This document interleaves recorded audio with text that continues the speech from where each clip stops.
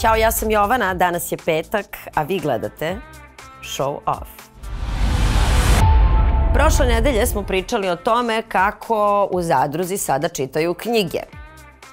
A pustili smo tom prilikom i video iz zadruge, kako to izgleda kad zadrugari tamo to nešto čitaju ili više sriču, kao da su ono prvi osnovne, a nisu išli ni u prečkolsko.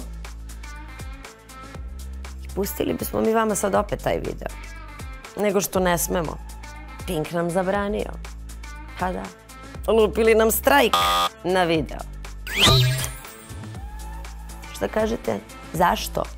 Pa, zato što sada Pink i njegov vlasnik pokušavaju da objasne ljudima da su slepi, gluvi i ludi. I da nije istina ono što su vidjeli svojim očima. Pa da, čak i Željko Mitrović ušao u zadrugu i seo za onaj crni sto kako bi svima to lično objasnio. I da vam skratim. Kaže Mitrović da su sad on i njegovi saradnici sedeli dobro, analizirali i zaključili da u stvari oni koji ne gledaju Pink su ti koji optužuju zadrugu da u njoj ima nasilja. Tako da sada ako ste tamo vidjeli Maju Marinković svojim očima kako lupa glavom o vrata dok se ne onesvesti ili Filipa Cara kako sedi krvav i izgreba na badnje veče ili Zvezdana Slavnića kako pokušava samog sebe da iseče to niste vidjeli. Mislim, niste to gledali u zadruzi. Možda ste samo čitali Pink RS. Pa da. Kad bolje razmislim, Željko Mitrović mi je kao onaj muž iz onog vica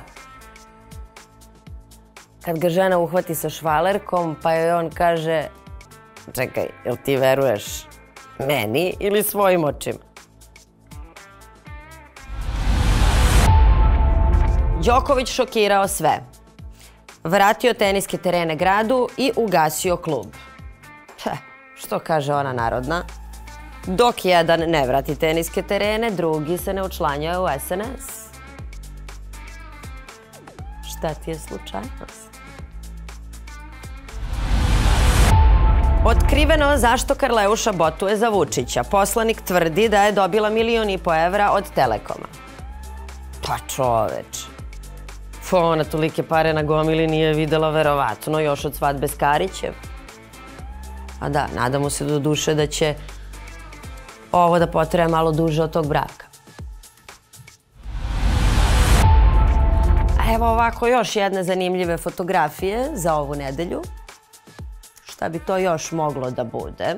Na primjer, tata i mama kad nisu zadovoljni s najom. Roditelji kad im razredna saopšti koliko će koštati ekskurzija do vršca.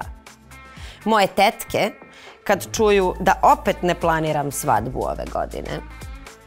Moja sestra i ja kad nam stigne vreme za registraciju auta. A šta vi kažete? Načelnica policijske uprave Smederevo, Vesela Milovanović, gostovala je na televiziji i tom prilikom naopako okrenula zastavu Srbije i činove na sebi.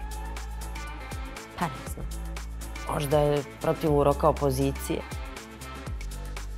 U svakom slučaju, ako vam deca vole patrolne šape, recimo, neka pogledaju i ovaj crtan.